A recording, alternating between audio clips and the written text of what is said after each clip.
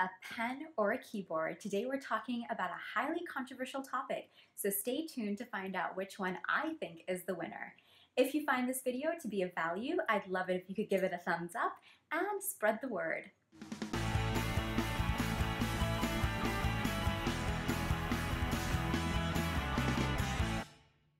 Have you ever heard that quote from Margaret Mead, never doubt that a small group of thoughtful, committed citizens could change the world? Indeed, it is the only thing that ever has. Well, I think the same could be said for Apple products. Who could have imagined that a small group of products could change the world so dramatically, so much so that they have forever left a dent in the universe? Well, I guess we could say Steve Jobs imagined that, but let's face it, he left it up to the rest of us to decide what we were going to make and do with this dent. Now, when it comes to classrooms, especially those in higher education, Many have decided that the verdict is in and that the pen has won over the keyboard. If you are a student today, chances are that you are using your devices for just about anything and everything. Yet, when you come into the classroom, the first thing that you'll hear from many of your professors is put those devices away.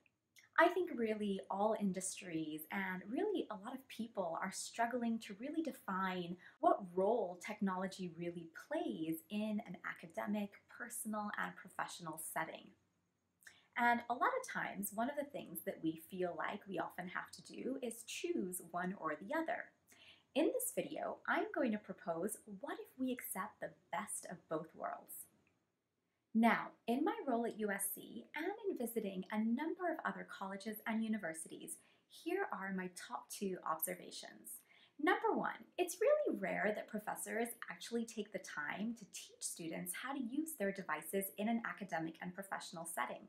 Most of them have written you off as being digital natives, mostly because they think that you grew up using this technology or they see you using it all the time because you're on Facebook, on Instagram, and things like that. But the reality is that this concept of being a digital native is really just a myth.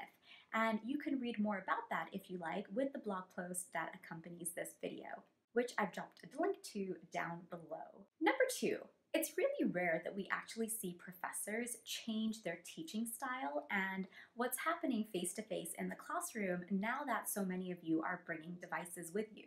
So essentially, what we're seeing are traditional learning environments competing with modern ways of learning. And I think that the two are a little bit incompatible. Not always, but oftentimes they really are. Now, I'm a really big believer that when we raise the expectations, we also have to raise our level of support. So if we're expecting that students are going to be using their devices in meaningful and respectable ways that are not distracting to the classroom environment, then we have to be able to support them in this transition. We cannot simply expect that they will walk in the door with the understanding of what that actually looks and feels like. So if your professor isn't going to change their ways, doesn't mean that you have to get left behind. And in this video, I'm going to share three strategies for success that you can use with your devices in both an innovative and traditional classroom environment. Now, I'm really proud to be leading the one-to-one -one iPad initiative at the PA program over at Keck at the University of Southern California. And one of the reasons I love our program is because we've really made a commitment to integrating digital literacy skills across the curriculum. And our goal is really to be able to empower students to use their devices in a way that's going to make them successful and in a way that's going to open the door to opportunities that many of them don't even know exist. And if you're curious as to how a high school history teacher became the director of innovative learning over in a medical program, I've dropped a link down to a video below where I share this story. All right, so let's get to it. Regardless of whether you are in a one-to-one -one program or you just have your own device, here are three strategies for success when using your devices for learning.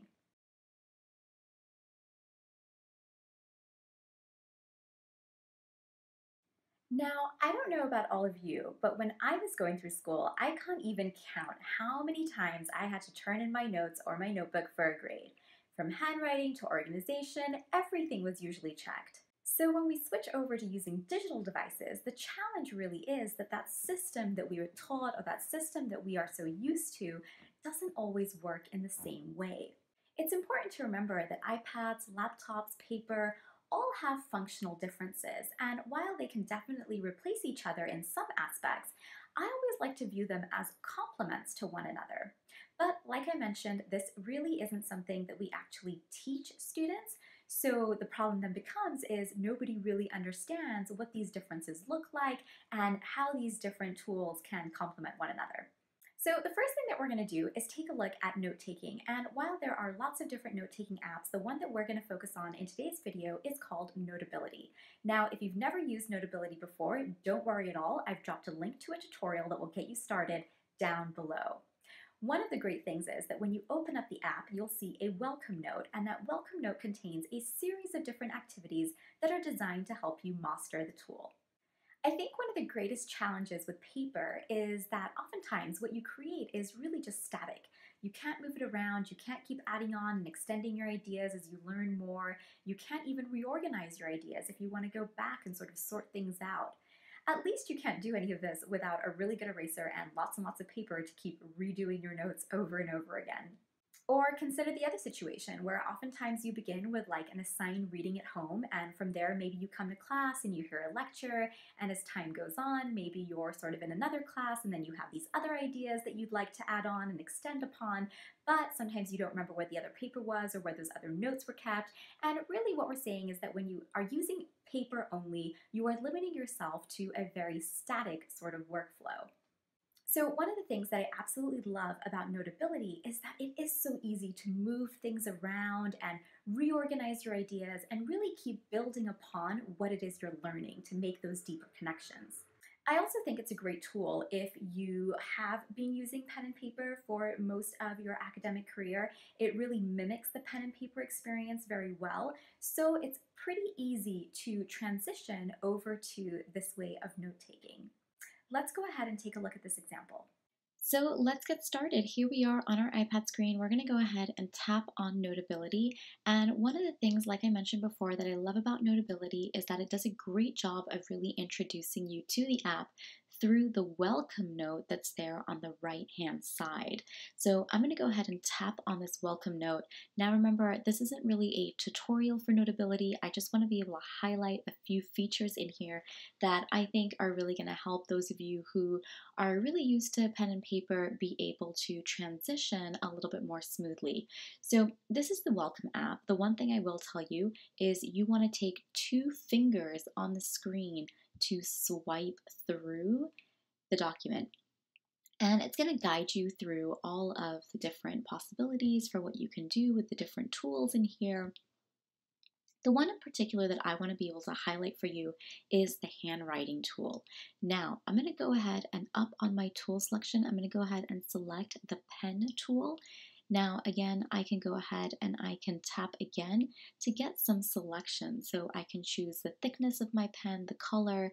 So I'm going to choose a relatively fine tip point here. Let's maybe go with this one. And I'm going to go ahead and select the white text. Now, what I'm going to do is I'm going to go ahead and let me just go ahead and write my name on the image that's over here.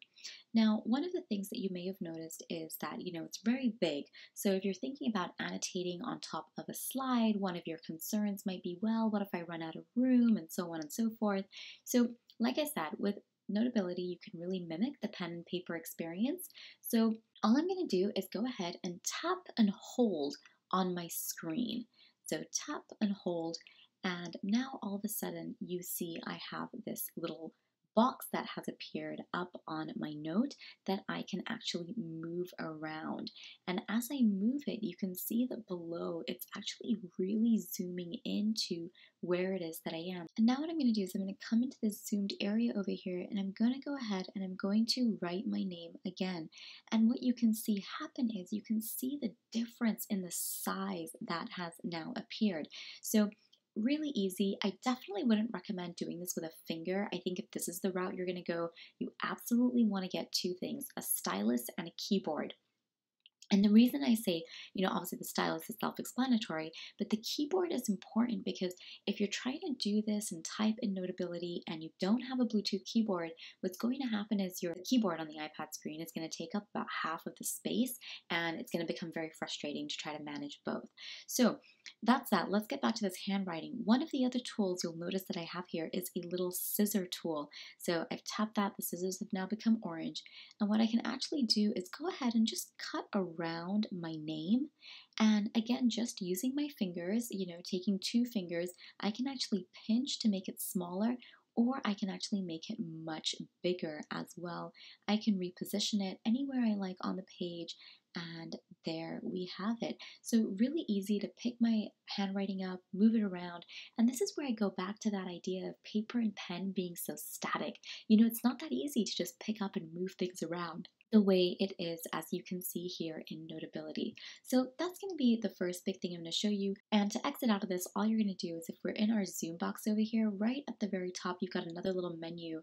Um, we're going to go ahead and tap these three lines at the corner right, and it's going to go ahead and just get us out of there. Now, the other thing I want to be able to show you in here is that on the upper right, you've got these little icons that look like pages. And when I tap over there, you can now see thumbnails of all of my different pages that are in my notes. Now, right now, I don't have a very overwhelming document. Let's see, I've only got about like eight pages in here, so definitely not a lot. But let's say I've imported a reading or a research article, and maybe I've got like 30 pages or 40 pages and maybe I don't need all of them. One of the things that I'm able to do is actually go ahead and see at the top right of the page, we've got this little gray bookmark icon. If I tap on it, that bookmark is actually going to turn red. Let me go ahead and go up to page number two, again tapping the gray icon in the top right. Watch it, it's now going to turn red. Now, what's great about this right here is that now if I come up to the top of sort of the menu right above where it says all pages, and I tap on that little icon, those are the only two pages I'm now going to view. Now, one of the things that I mentioned here is that if you're importing a reading, you may not want all the pages and you may not want to be constantly scrolling through 30 to 40 pages. And the other challenge is going to be maybe there's not enough room for you to annotate on the page.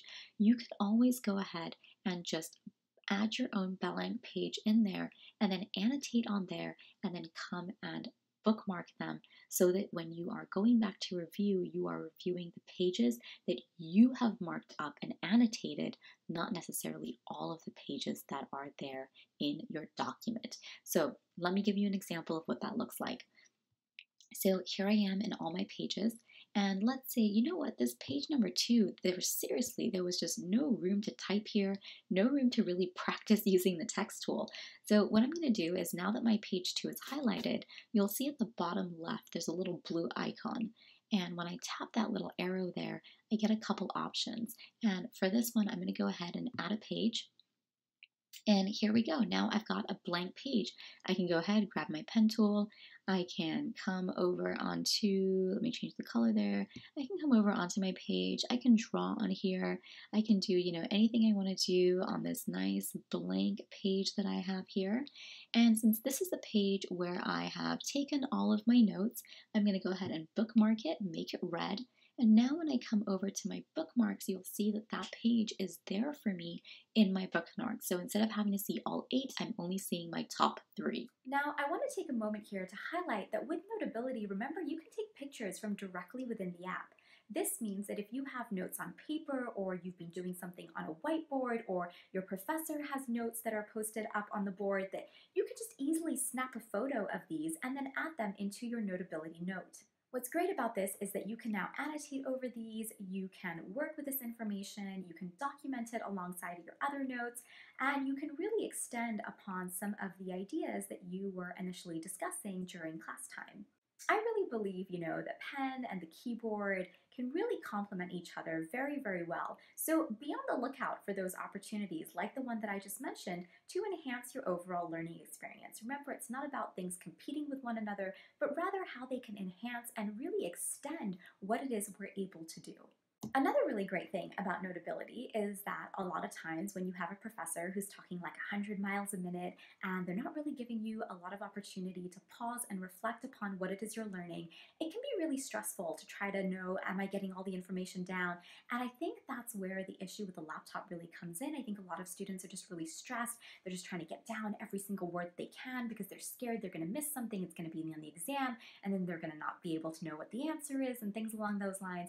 And so I think one of the great things about Notability is that because you can record audio, it can relieve a lot of that stress about thinking that you have to get every single word down right in that moment. And it can really allow you to take a step back and really synthesize and conceptualize what it is that you're actually listening to so that you can actually make sense of what it is that you are learning. And one of the great things about Notability that you'll see if you do the welcome activity is that the audio is going to sync with what it is that you're writing on the screen. So instead of the audio file being completely separate, it's going to sync alongside whatever's happening on your screen in that moment so that when you go back to actually listen and watch your note, you can actually listen to the audio and take a look at exactly what you were writing and exactly what you were doing in that moment. And that's a really rare feature that you don't see a lot of other apps provide, which is one of the reasons why I think this will be a really beneficial tool.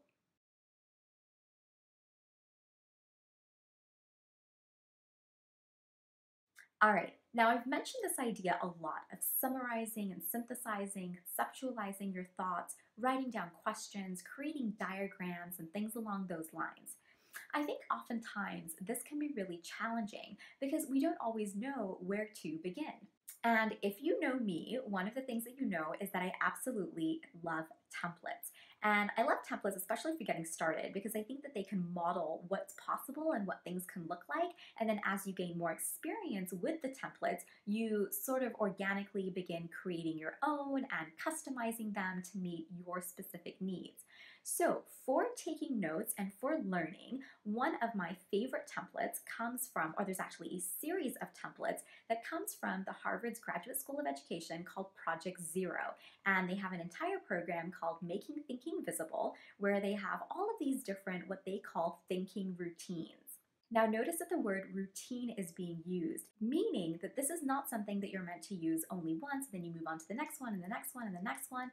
No, the idea really here is that you integrate these on a regular basis, making this a part of your learning routine. And again, just because your professors aren't doing something or just because they're not giving you the opportunity to pause and reflect and really sort of assess yourself along the way doesn't mean that you can't do this independently. I've dropped a link down below to the Project Zero website where they have all of these routines listed, and I've also dropped a link down below to a PowerPoint and Keynote presentation and a PDF, pick whichever format it is you like, where you can actually just screenshot, grab, and drop these into your notes to begin using these routines immediately. And if you want, you can even share these with your professors. A lot of times I think people just don't know what's really out there. And once they learn and once they see sort of what's possible, that's when things get exciting. And that's really when people become a little bit more open to different ideas about what they're going to integrate, what they're going to ban, and what they're going to allow. Now remember, just because I've dropped these down in digital formats doesn't mean that that's what you're restricted to. Grab a whiteboard, grab a piece of paper, grab whatever it is that you're comfortable with and make your thinking visible. Because remember, even if you're doing it on a whiteboard, even if you're doing it on a piece of paper, you can always capture them with your device, add them into your notes, and again, build and extend upon these at a later time. One of the things that I've mentioned before, and I'm going to mention it again because I think it's so important, always be on the lookout for those opportunities where the pen and the keyboard are going to complement, not compete with one another. And if you do come up with ideas or strategies or you have other suggestions for things or advice that you think other students might enjoy or that we can help professors learn, don't forget to drop your ideas down in the comments below so that we can all see these ideas and learn about them together.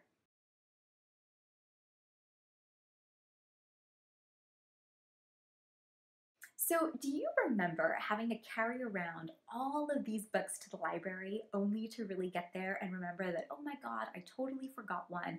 Or do you remember having graduated from undergrad or from high school and having all of these beautiful notes that are color coded and highlighted, or all of these textbooks or study guides that you know have really valuable information, so you don't want to throw them away? And so you store them away in the garage, you know, thinking that when you need them, you're going to go and find them. Now, I don't know about you guys, but I have lots and lots of those boxes lying around all over the place. And between moving or the number between the number of times that I've moved after college, I honestly don't even think I can keep track of where any of them are anymore, let alone access the valuable information that I have stored away to be used someday by me. Because the reality is that when I actually needed those notes or when I was in a situation where I wanted to pull up that information, it was never, ever, ever on hand. So then let's take a moment to think about what it is we tend to do when we want to look up information. Most of us are really going straight to Google. So, one of the things I like to say is what would it be like if you were able to Google your brain and access all of these things that you've learned over time? Well, to help you do this, we're going to be talking about another app called Evernote. And if, again, if you've never used Evernote before, not to worry, I have dropped a link down below for you to view a tutorial that will get you started and familiarize you with all the different aspects of Evernote. Now, I really like students to think of Evernote as sort of a filing cabinet, a place that will hold all of your information, business cards, web links, articles, events, just about anything and everything it is that you have. While Evernote is a note taking app as well, I don't really recommend it for in class lectures, mostly because most of you that are sitting in a lecture hall, um, your professors are going relatively quickly, and Evernote doesn't always sort of keep up with the type of pace that you need and doesn't really allow you to do the things that you want to be able to do in the moment that you need to do really quickly. So think of Evernote as the filing cabinet, but Notability as the place where you take all of your notes and sort of do your annotations and things along those lines. And ultimately, what's going to happen is you're going to take everything from Notability and all the other different places where you're sort of learning or you're grabbing information from and file it all away in Evernote. So, like all filing systems, we need some way to be able to organize all of our files. And the way we're going to do this is by using something called tags. And searching using tags is very different than, say, pulling up like Control F and trying to find something or search something within a document. And in this example, let's take a look at one. A little bit deeper one note here right now, but let's say that I wanted to search note taking with iPads. So let's say I put in note taking and iPads. And you're going to see, even though I have a note in here that is all about the welcome note, all about how to take notes on the iPad with Notability, um, I'm getting absolutely nothing. So let's go ahead now and come on over here into Evernote and we're going to search the same thing, okay? So over here on my side column, I'm going to go ahead, look at the search icon, and I'm going to go ahead, oh, I've already got it up here, note-taking an iPad. And you see over here now how many more examples I'm going to get. Now, obviously, granted, there's a lot more things in my Evernote notebook as well, but the point that I really want you to sort of take away from this is that when you are tagging, you don't have to have the exact phrase written directly within your notes the way you would if you were searching Microsoft Word or the way that you would if you were searching something in Notability. You have the option here to add tags. So if I come over here to my Notability example, you'll see there's nothing in this note that says note taking and there's nothing in this note that says iPad, but you do see the two words written over here in the gray. And the reason you see those there is because that is how I have tagged this note. So here I am, I'm a student. I've just gone to this workshop or watched this video, and I've just learned all about how to use Notability to take notes on my iPad. And instead of just leaving the note as a welcome note in Notability, I've taken it, I've put it in my Evernote filing cabinet, I've tagged it with iPad and note taking so that if down the line I want to review how to take notes on my iPad, or I have a friend who's like, hey, how do I take notes on my iPad? All you got to do, jump into your filing cabinet, put those words in, and boom, your very own Google search is going to produce the results that you are looking for. Now, remember, the better you get at creating tags, the better your search is going to be. It's really sort of the difference between doing a regular Google search and doing an advanced Google search. The better you are with your search tactics and techniques, the better your results are going to be.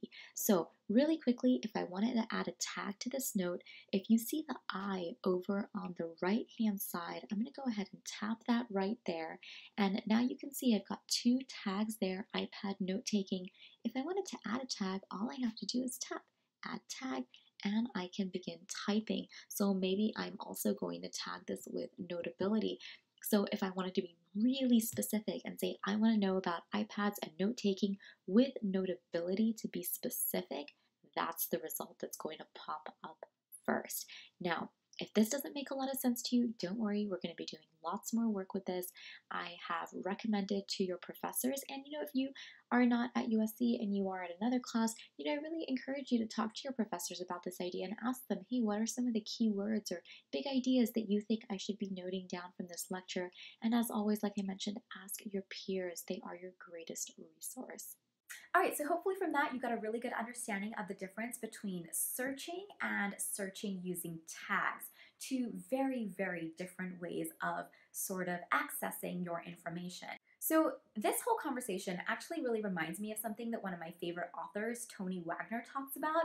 And basically what he says is that in order for today's students to be successful in today's economy, or really even tomorrow's economy, it's not about what you know, but it's about what you can do with what you know.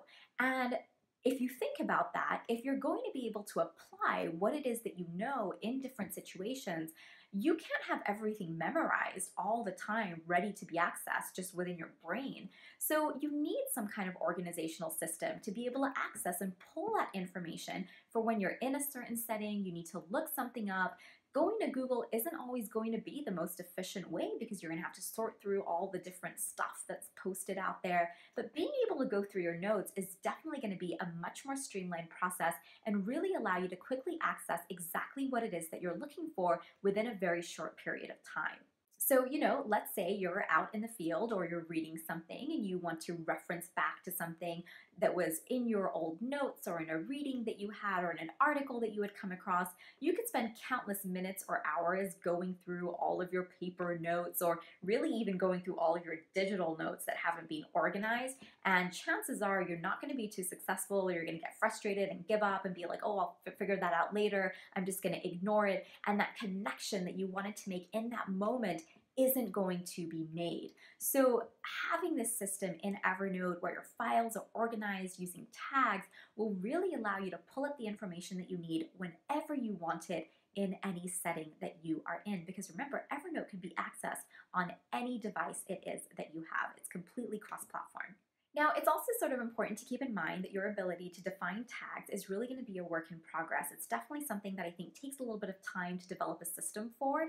In the beginning, I think you will probably identify most of those keywords. Um, a lot of students like to use the names of their professors or the names of courses and things along those lines to help them track the information. But again, it's really going to be a system that you'll refine as you go along.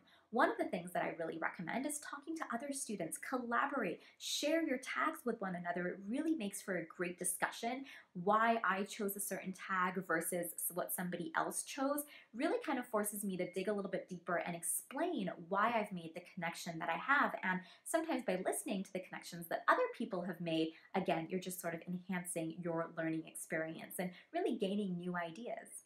And of course, like I've mentioned throughout this video, think about how you could use this opportunity with paper as well. So for example, you don't just have to tag things that are digital. Remember, you can take a picture of a piece of paper. You can take a picture of what's written on the whiteboard, import it into Evernote, add a tag, and boom, that's going to become searchable as well. And what's really great about Evernote is that any type of handwriting that comes into the app is actually searchable. So it can read your paper notes and it can read what you have up on that whiteboard that you have captured. Now, one of the themes throughout this video has really been this idea of blending the analog with the digital. And again, if there's one thing that you take away from this video, I really hope it's that while you may absolutely have a preference for one over the other, I think it's really important to at least recognize that both can be integrated into your workflow. It's really just a matter of determining what that looks like for you because it really is going to look different for each and every student. All right, so there you have it, three strategies for success when using your mobile devices or laptops for learning in and outside the classroom. So, if you use any of the above strategies, I would love to be able to hear your stories and your experiences. And I would love if you could leave a comment down below so that we can all have access to what these ideas are if you want to do a more private conversation, feel free to email me, tweet at me, snap me, and I will then go ahead and share that story anonymously with the rest of our learning community. Um, but I think it's really important that we sort of grow together, learn together. I think we're all kind of navigating these new waters together, and the more we can collaborate and communicate with one another, I think the more beneficial it's going to be in really determining what should face-to-face time look like in higher education now that we have access to these devices. So if you liked today's video, go ahead and give it a thumbs up and don't forget to share it with your peers and also don't forget to share it with your professors. You know, you'd be really surprised by how excited people can get when they discover what opportunities are available. So here's to wishing you lots of success in your upcoming academic or professional journey. Till next time, goodbye.